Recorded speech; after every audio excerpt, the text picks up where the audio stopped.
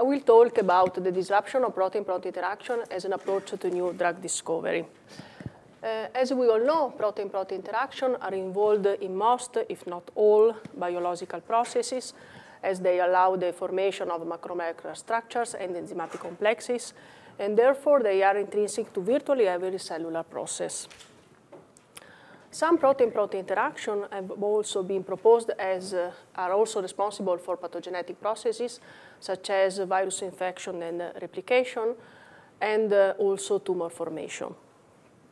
Indeed, uh, a large number of protein-protein interaction, this is just a short list, not exhaustive, of some interaction between viral proteins or between viral proteins and cellular factors have been proposed as potential target for therapeutic intervention, and not only in virology, but in many other fields. Protein-protein interaction uh, have attracted attention as, as a potential target for a number of reasons. First of all, they are usually essential and specific. Often, even though not always, they involve a few or even single residues, meaning that uh, such an interaction could be disrupted, dissociated also by a small molecule.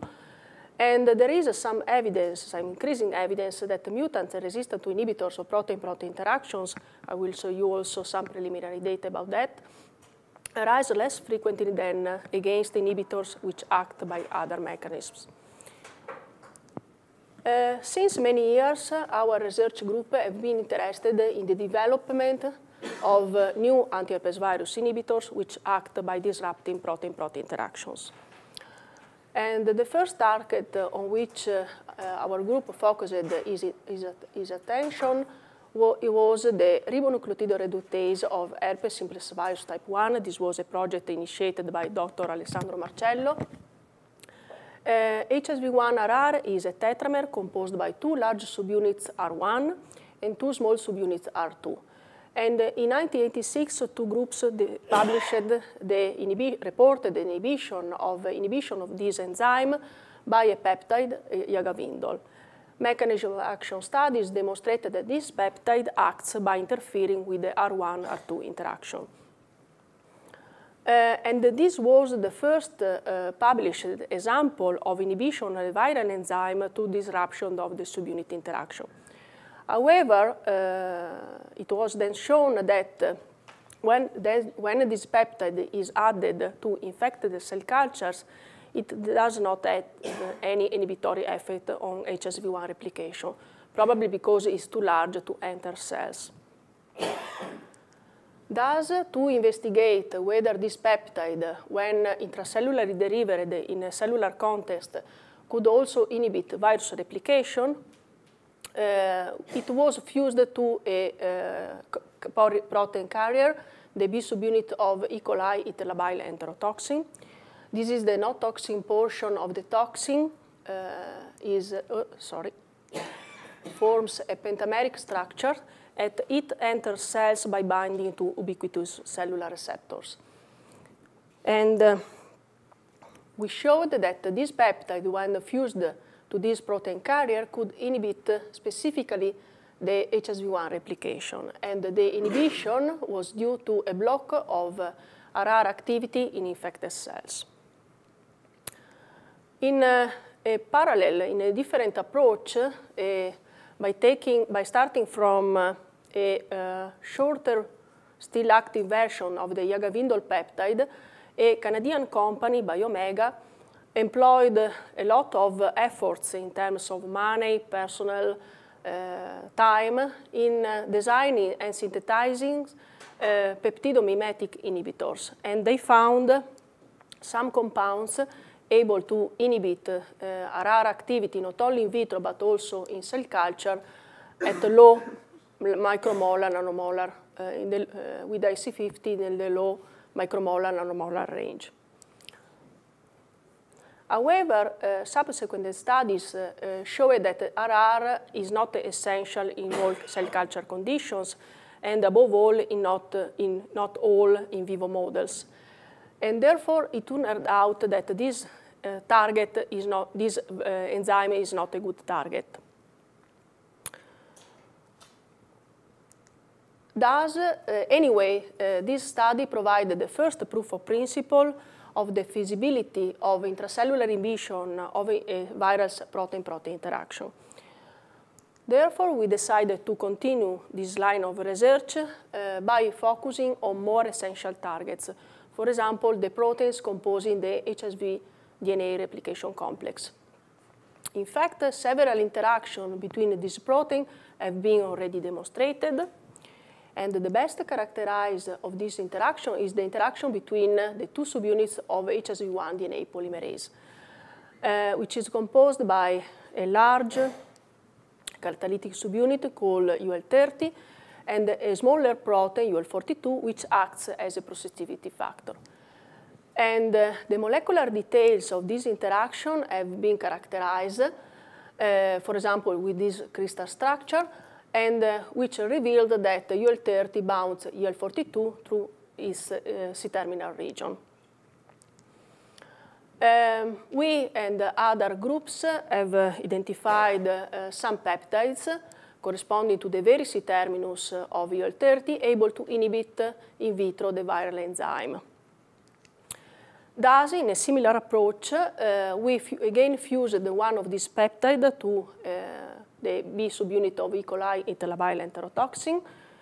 And uh, we observed that this fusion protein could specifically inhibit HSV1 replication, but not, that, uh, but not the replication of another DNA virus.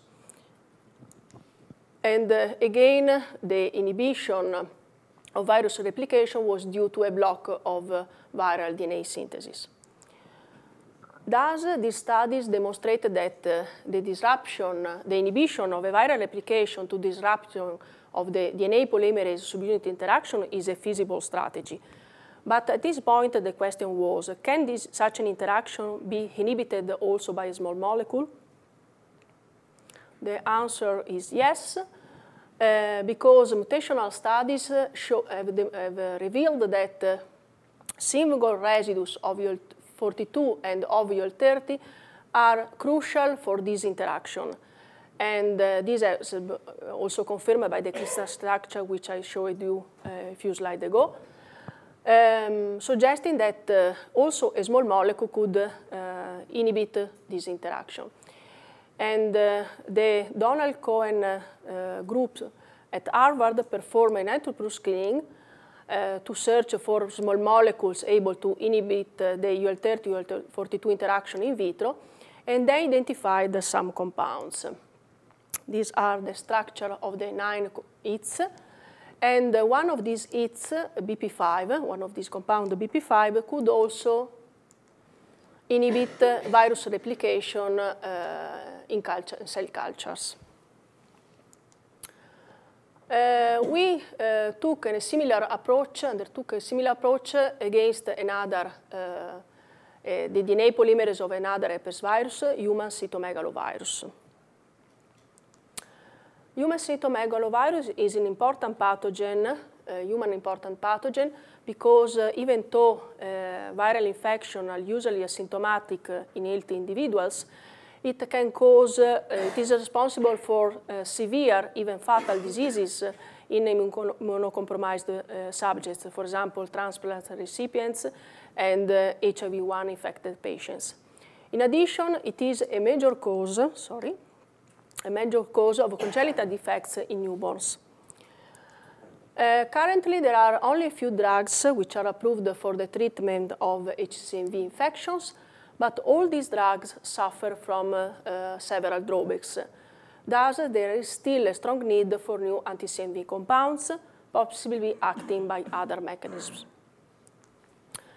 The uh, HCMV DNA polymerase is again an heterodimer composed by a catalytic subunit, in this case called, called UL54, and an accessory protein called UL44, which acts as a processivity factor. Um, several um, studies demonstrated that both UL54 and UL44 and also their interaction are essential for virus replication, suggesting that also in this case, uh, this interaction could be a good target for antiviral strategies. Uh, in collaboration with Dr. Howard Marsden of the Institute of Virology in Glasgow, we identified, we again demonstrated that this interaction occur through the C-terminus of the catalytic subunit UL54, and we, we identified uh, some peptides, in particular a peptide corresponding to the last 22 residues of UL54, able to inhibit not only the physical interaction between the two proteins in, a, in, a, in an ELISA, but also the uh, enzyme activity in DNA polymerase assays. Um, with the Donald Cohen group at Harvard, we also solved the crystal structure of UL44. The structure revealed that UL44 has an overall fold which is very similar to that of the HSV1 homologue UL42 and also to human PCNA, a human possessivity factor. Um, however, despite this similarity, UL44 can form, we, we surprisingly discovered that UL44 can form an homodimer in contrast to UL42, which is a monomer. And we also demonstrated that the formation of UL44 dimers are important, is important for its DNA binding activity. We also solved the co-crystal structure of UL44 bound to the UL54 C-terminal peptide, which is here in green, uh, yellow, sorry. Uh, and thus we could identify some residues important for this interaction. Um, these observations were then confirmed also by mutational studies, which uh, demonstrated that only a few residues of UL54 and of UL44 are crucial for the interaction, suggesting that also this interaction could be an excellent target for developing inhibitors. Thus, uh, we decided to perform a nitroproof screening to search for inhibitors of this interaction. And uh, I, for, for this purpose, for doing nitroproof screening, I developed a fluorescent polarization-based assay. I do not enter into the details of this assay, but I just say that this assay is an assay which can quantitatively detect a protein-protein interaction and usually is enough robust and specific for doing throughput screenings. Uh, by using this assay, I screened uh, several small molecule libraries, libraries for, uh, almost, uh, for a total of almost 50,000 compounds. And initially, identified almost 200 hits. Uh, because uh, the number of hits was uh, still too large to be characterized in details, I then performed a secondary screening to exclude compounds able also to inhibit the UL30 UL42 interaction. In fact, despite to, to the uh, strong similarity between the UL42, UL42 uh, four uh, structures, uh, the regions involved in the interaction with the catalytic subunit, with the respective catalytic subunit, are very different. So one expects that a compound specifically inhibiting the UL54, UL44 interaction, HCMV DNA polymerase, would not inhibit the HSV1 polymerase. And then uh, by doing this secondary screening with a similar assay, I identified, I, fi I finally, sorry, I finally identified 21 widths that uh, could inhibit specifically uh, the UL54, UL244 interaction in vitro. Uh, then I reordered these compounds and I characterized them in a number of biological assays, both in vitro and in cell culture. And I identified some five compounds which are able to uh, not only to inhibit the UL54, UL44 interaction in vitro, but also HCV replication. And the most potent, uh, we patented this compound in collaboration with Harvard, and the most potent of these compounds uh, is uh, quite interesting because it possesses antiviral activity with the IC50 in the low micromolar range and as uh, possesses a good selectivity index. So now we are now studying this compound in in vivo models. Um, thus, maybe this compound could represent in the future starting point for new anti-CMV drugs. Uh, more recently, uh, we started to be interested on uh, trying to find uh, new anti-influenza compounds which act by disrupting a viral protein-protein interaction. Um, as you probably know, uh, beside vaccines, which uh, need, uh, which are reformulated yearly and uh, give only, so, only limited protection, uh, currently there are only two classes of drug which have uh, been approved for anti-influenza therapy. the M2 blockers and the neuraminidase inhibitors. However, these drugs, again, have several drawbacks, in particular, a very high propensity to uh, rise very quickly drug resistance. Um, the influenza virus RNA polymerase, in this case, is a trimer composed by P the PA, PB1, and PB2 subunits, which are all uh, involved and essential for doing transcription and replication of viral RNA, and also their interaction is essential. We thought that this interaction, in particular the interaction between the PA and PB1 subunit could be an attractive target for a number of reasons.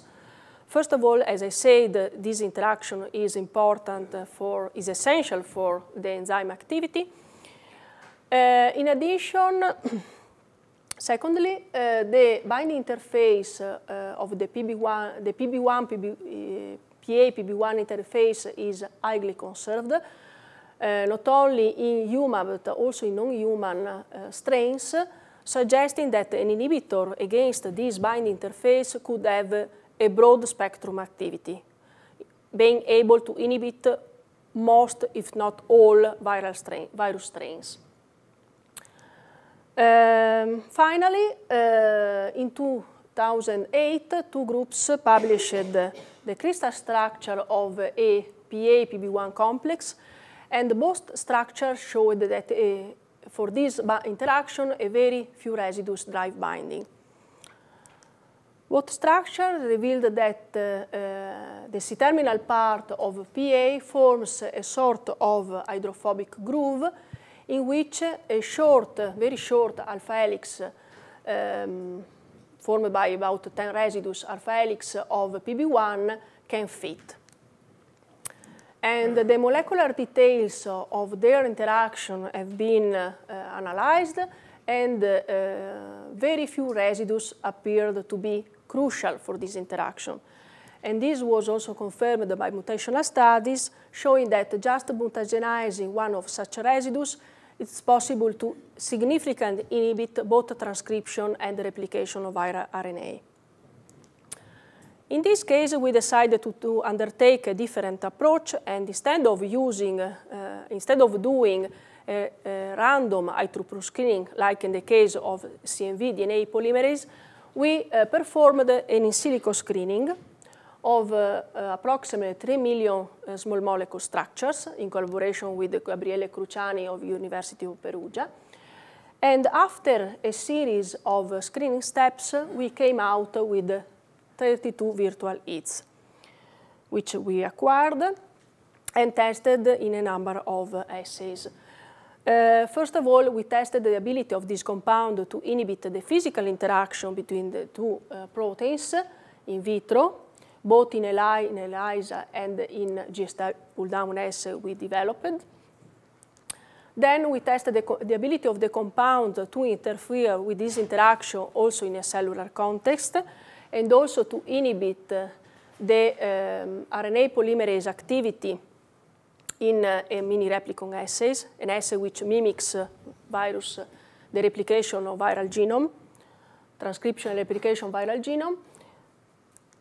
Uh, we also tested the ability of this compound to inhibit the replication of both influenza A and influenza B viruses and, of, and to block viral protein expression.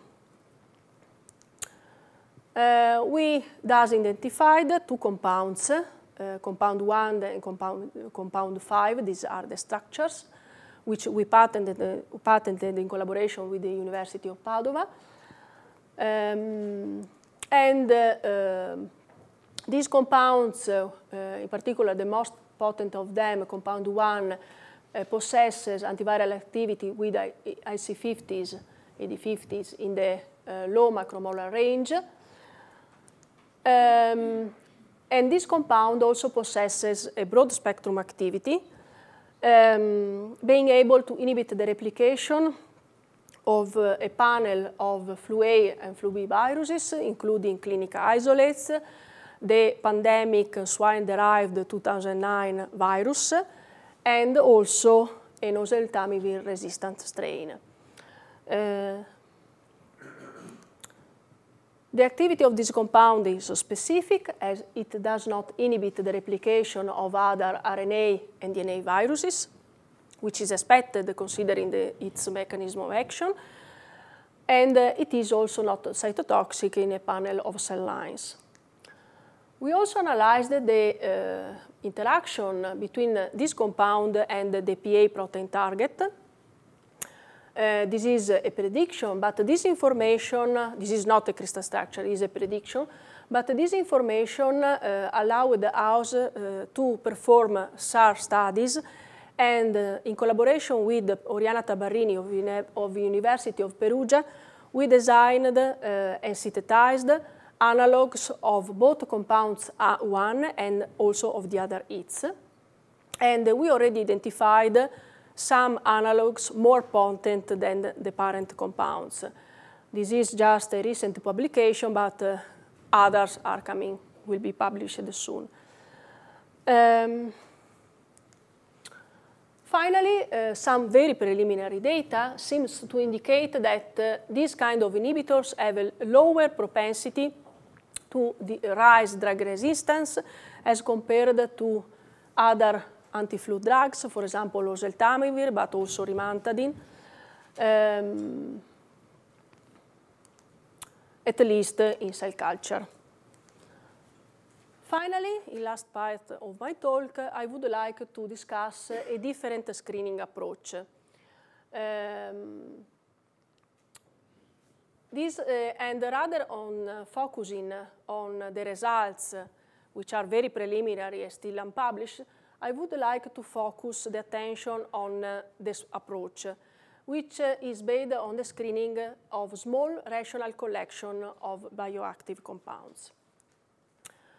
Uh, one of such collection is the microsource spectrum collection, which is uh, a, small, a library quite small. It is composed by about 2,000 compounds and include all drugs currently approved for clinical therapy, so they are already in clinical use, and also natural or synthetic compounds for which uh, biological, pharmacokinetic, pharmacodynamic, and toxicological profile, also in vivo, for some of them, are already known.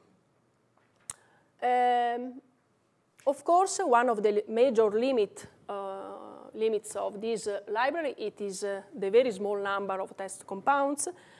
But if one can find a compound or a few compounds uh, which possess uh, an activity different from what, uh, what is known, and this activity can be still patented, uh, the compounds, the active compounds can, enter, po can possibly enter very quickly clinical studies.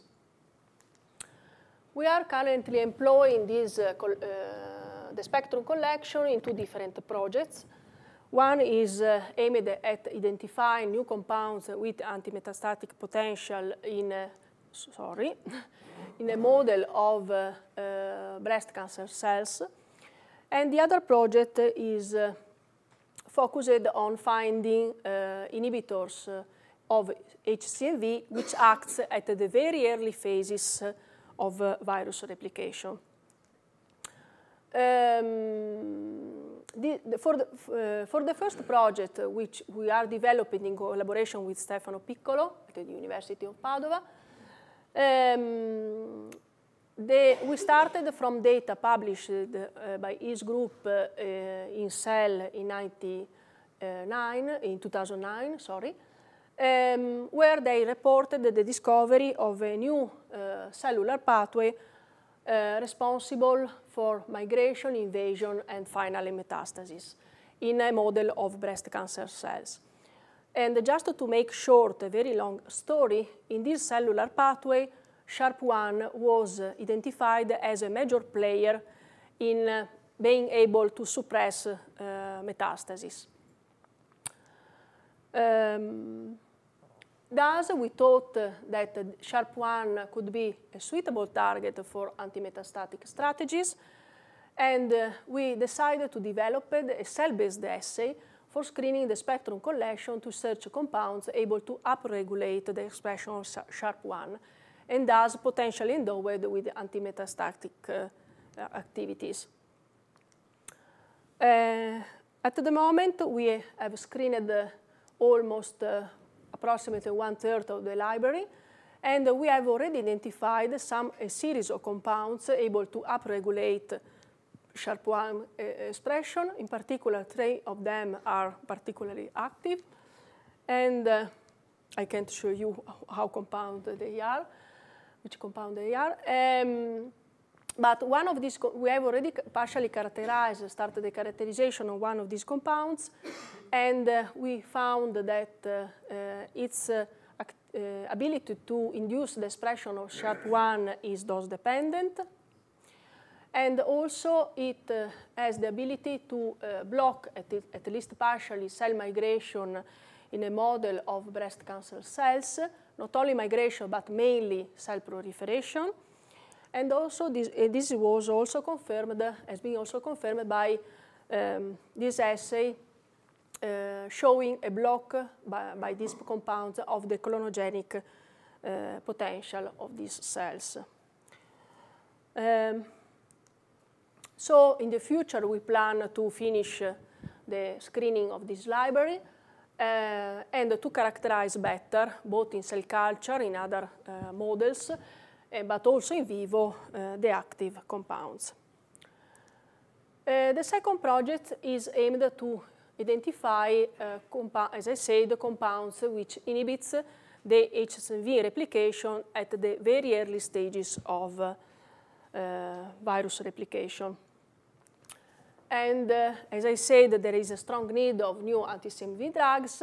And uh, on this line, uh, drugs which inhibit uh, not just the lytic viral replication, but also um, reactivation from latency and all the immunopathogenic effects um, due to expression of the viral proteins could be particularly useful. And uh, early acting inhibitors could have these uh, advantages.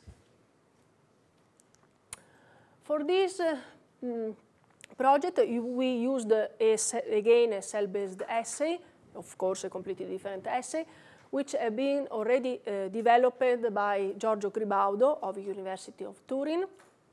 And we confirmed the ability of this assay to uh, detect inhibitors of, for example, the immediately two proteins by um, characterizing the activity of a quinolone, which we recently discovered to act by the, this mechanism.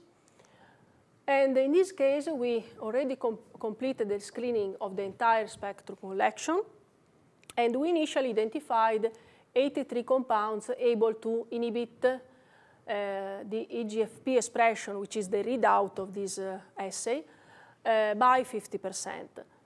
Um, then we made a secondary screening to confirm the activity of these compounds, but mainly to exclude cytotoxic compounds. And uh, at the moment, we identify, so thus we identified 32 active compounds, which we then characterize in other assay aimed to test the antiviral activity against uh, in cell culture by plaque reduction assay and the cytotoxicity. And we found some compounds um, with antiviral activity uh, with IC50 values uh, below 10 micromolar or much lower, and with a selectivity index of at least 50 or higher. These are the compounds. And uh, we uh, now reordered some of them, and uh, by retesting them in those response um, experiments, we found that some of these compounds have um, a good antiviral activity and also a good selectivity index. In the future, we will uh, um, try to and clarify the mechanism of action of these uh, compounds, for example, by time of addition, time of removal experiments, and so on, uh, to character the step of the viral replication in which they act, and we will also evaluate uh, the activity in combination with other, uh, with the approved anti-CMV drugs, for example, cyclovir, and we will also evaluate in this compound in a model of congenital infection. Uh, to conclude, um, in screening projects, it's very difficult uh, to compete uh, with big pharma, uh, with the, the, larger resources of, in terms of money, people, equipment, with big pharma. But we believe that small academic groups like ours still can uh, find some uh, ways to complement uh, this, the screening appro approach and have some success. Finally, I would like to acknowledge people who in the past uh, were in the past involved in this project, for example, above all Alessandro Marcello, and people who are uh, still working with me, uh, Giorgio Palù, eh, Elisa Sinigalia, Beatrice Mercorelli, Giulia Mulatore, Silvana Pagni, and many others. And uh, our many collaborators, here there are some of them, but I cited others. And finally, thank you for your attention.